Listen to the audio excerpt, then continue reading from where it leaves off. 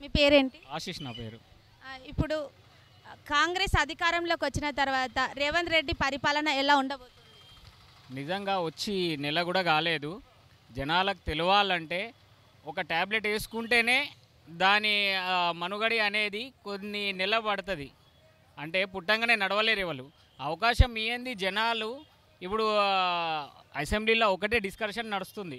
వాస్తవంగా ప్రభుత్వం ప్రజలు మెచ్చిరు కాబట్టి ఆయనకు ఒక అవకాశం ఇచ్చిరు కాబట్టి ఆయనకు కూడా సమయం ఇవ్వాలి పది సంవత్సరాలు బీఆర్ఎస్ ప్రభుత్వం చేసింది కాబట్టి కాంగ్రెస్ ప్రభుత్వాన్ని కూడా కొంచెం సమయం ఇస్తే సామాన్య జనులకు ఏదైతే అవసరం ఉందో ఆ ఆరు గ్యారంటీలు అనేది కంపల్సరీ వాళ్ళు ఇంప్లిమెంట్ చేస్తే నెక్స్ట్ కూడా కాంగ్రెస్ ప్రభుత్వమే వస్తుంది.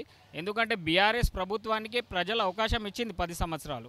ఈసారి నూతన ప్రభుత్వం ఇచ్చి మార్చాలనుకున్నది ప్రభుత్వ నిర్ణయం మరి జనాల నిర్ణయం మట్టుకు వాళ్ళు అవకాశం ఇచ్చిరు ఆయనకు సమయం ఇవ్వాలి. మీ అసెంబ్లీలలో అదే రేవంత్ రెడ్డి కౌంటర్ వేయడం పార్టీలు మారడం జనాలకు ఏదైనా చేయండి. మీరు మీరు లబ్ధి పొందడం కాదు సామాన్యులకు. నిజంగా బడుగు బలహీన వర్గాలకు ఏది కూడా అందట్లేదు. వాస్తవంగా ఉన్నోడే ఉన్నోడు బతుకుతుండు లేనోడు లేకుండానే పోతుండు. ఈ ధరల పెంపుతోని ఒక నూనె ప్యాకెట్ అయినా గ్యాస్ ధరలు అవకాశం ఉంటేనే నిజంగా జనాలకు అవసరం ఏదైతే ఉన్నదో విద్య వైద్యం అనేది ఉచితం చేయండి. అది ఏంటంటే ఉపయోగపడుతుంది. లేని వాళ్ళకు కూడా ఉపయోగపడుతుంది. మీరు ఉచితాలు ఇచ్చి ఇవి ఇచ్చి కూడా నష భ్రష్ట పట్టించిర్రు. ఎందుకంటే జనాలల్లా ఒకటి సోమరితనం అనేది వెళ్ళిపోయింది.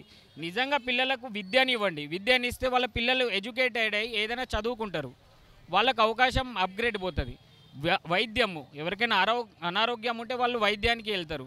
కానీ ఇవ్వని కాకుండా ఒకసారి రేవంత్ రెడ్డికి అవకాశం ఇవ్వండి.